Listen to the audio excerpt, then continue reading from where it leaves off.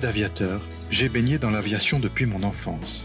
Passionné par tout ce qui vole, mon rêve d'enfant était de devenir pilote militaire.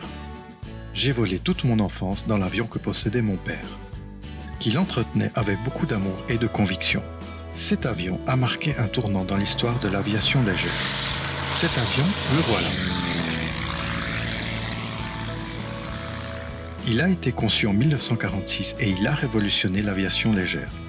Avant la Deuxième Guerre mondiale, l'aviation de tourisme était à ses débuts, peu appropriée au voyage et réservée à une élite.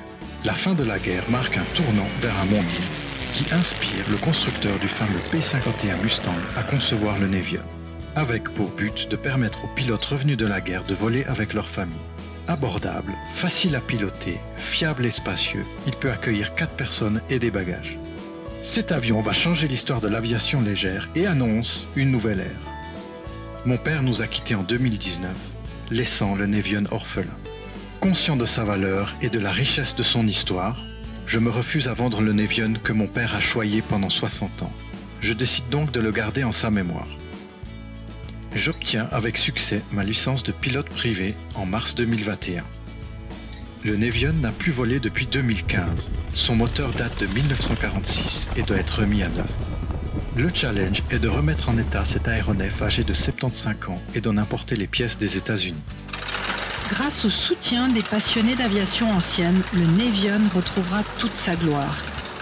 Il n'existe pas de plus belle expérience que de voler dans une machine de cette classe. C'est pourquoi je souhaite pouvoir le faire partager aux passionnés d'aviation ancienne. La création du club Nevion Suisse en 2021 a pour mission de sauvegarder cet avion culte. Les donateurs auront le privilège de voler dans le Nevion et de participer à des événements liés à l'aviation.